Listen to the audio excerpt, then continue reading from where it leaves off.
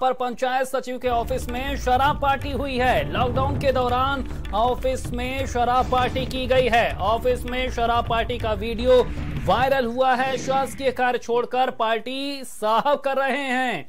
CDO ने पंचायत सचिव सुशील को हालाँकि सस्पेंड कर दिया है।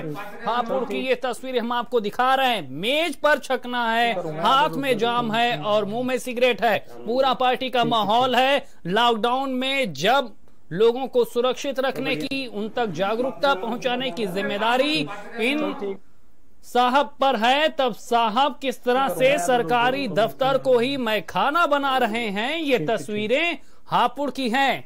हापुड़ की ये तस्वीर हम आपको दिखा रहे हैं जहाँ पर किस तरह से पार्टी चल रही है। ज़्यादा जानकारी के साथ संवाददाता तेजेंद्र हमारे साथ जुट गए। हैं तेजेंद्र जब जिम्मेदारों पर सबसे ज़्यादा ज़िम्मेदारी है जागरूक करने की तब शराब पार्टी हो रही है ऑफ़िस में। शैलेंद्र मैं आपको बताना चाहूँगा ये सपनावा जिला पंचायत ऑफ़िस है जहाँ रोज शराब चल रही थी एक युवक ने इनका वीडियो बनाया और ट्वीट पर ट्वीट मार दिया। और इनके ऊपर कार्रवाई की गई जो आपको के सीडीओ ने निलंबित कर दिया। सबसे बड़ा सवाल है जब लॉकडाउन में शराब बंद है तो इनके पास शराब कहाँ से आ रही है? हम्म। सबसे बड़ा तो ये सवाल ये दिखने को है जो इनके शराब के ये जाम छका रहे हैं और लोगों को ये मदद नहीं कर रहे। सीधे तौर पर इनके निलंबन से ज़्यादा इन पे कार्रवाई होनी चाहिए और उनको कोई सख्त एक्शन होना चाहिए।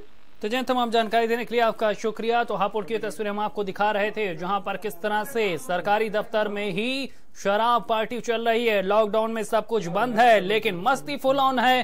किस तरह से साहब शराब पार्टी कर रहे हैं। मुँह में सिगरेट है मेज पर चखना है हाथ में जाम है और माहौल मस्ती वाला है। जब ज़िम्मेदारी का वक्त है जब महामारी से लड़ने का वक्त है तब साहब किस तरह से जाम छलका रहे ये तस्वीरें हापुड़ से